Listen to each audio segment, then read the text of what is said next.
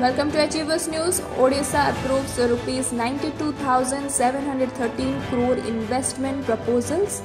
The Odisha government has approved five mega investment proposals worth rupees 92,713 crore in the metal sector.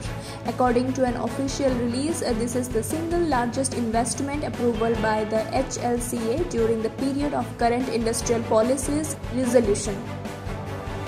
It involves beneficiation to manufacturing of pallets, iron, steel, stainless steel, rolled products, as well as cement utilizing waste products like slag and fly ash from other industries along with employment opportunities for 31,979 people across all skill levels.